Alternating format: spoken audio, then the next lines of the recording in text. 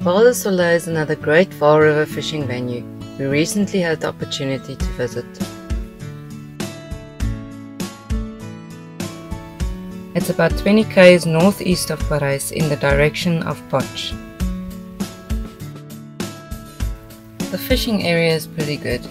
It could get a little crowded when the place is full, but it was perfect when we were there.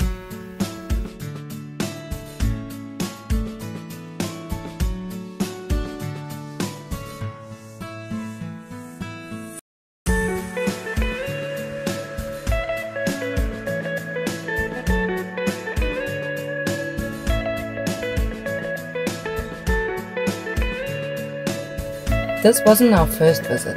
We stayed here a couple of years ago and caught a lot of fish. But this time the fishing was a little bit slower. The spectacular view made up for it though.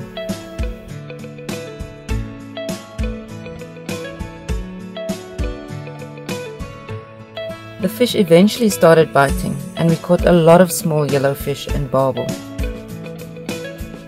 and every now and then a nice sized carp.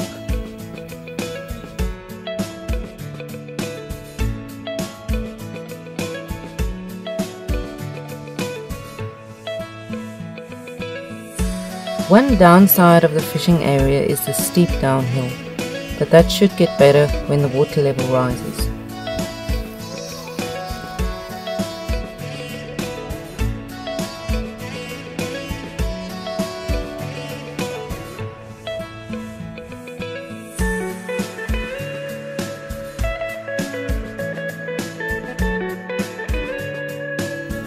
The accommodation is quite nice. Here's a quick look inside.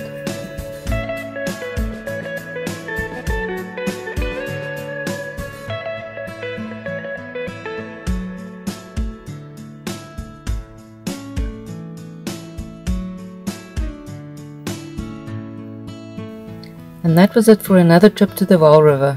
We'll be back soon.